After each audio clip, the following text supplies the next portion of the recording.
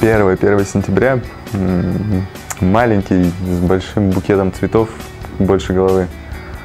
Довольный, иду первый раз, первый класс. У меня, я думаю, есть фотография, где характеризует, наверное, мое настроение. У меня было очень грустное лицо. Больше, более радостное лицо, сказать, у мамы было. У меня оно было очень грустное. Ну и помню, что она мне дала этот букет цветов, который я в итоге так и не донес до класса.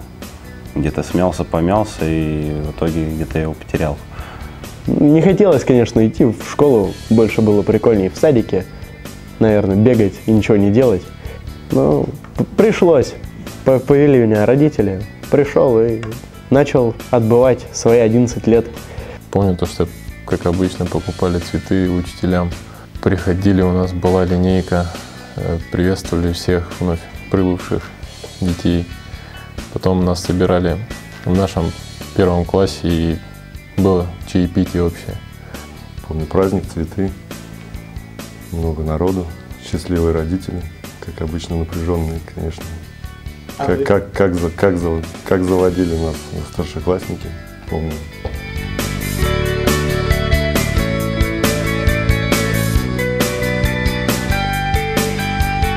М, Гранкина Надежда Владимировна была моя первая учительница. Надежда Владимировна понимала, что занимаюсь хоккеем, ну, где-то, может быть, давала какие-то поблажки. Но помню только с хорошей стороны. Нина Николаевна ее звали. Ну, учительница была просто от бога. С детьми общалась шикарно. Если что-то не получалось, всегда помогала. Всегда можно было к ней обратиться за советом, ну, по любой причине. Ну, а какие там советы с первого по четвертый класс, там, по третий. Только меня кто-то там обидел, там, или к директору отвели за то, что мы проказничали с ребятами. Моя первая учительница Виктория Сергеевна Воробьева. Была, как все учителя, добрая, отзывчивая. Учила читать, писать. Мою первую учительницу звали Урядова Людмила Егоровна. Ну, она была очень стро- строга со мной, но и спасибо ей за это. Сначала учился не очень, потому что как-то совмещал и плавание, и хоккей, и немного не успевал. Но ничего, хорошо, что так было. Анна Михайловна Семенова. Все учителя, по-моему, первые, они запоминаются такие добрые, которые как, как мамы тебе в школе.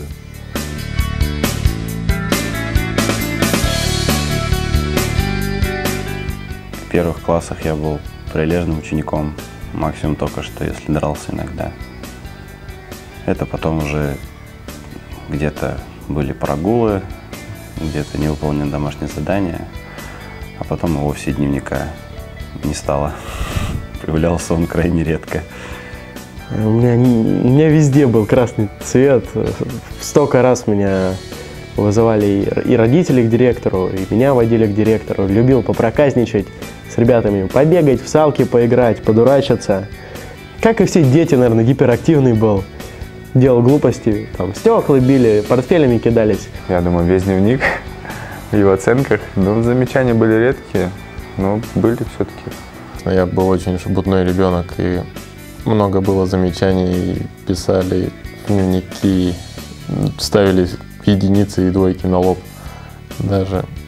Красного цвета, да, прилично было. И родителей напрягал, и учителей.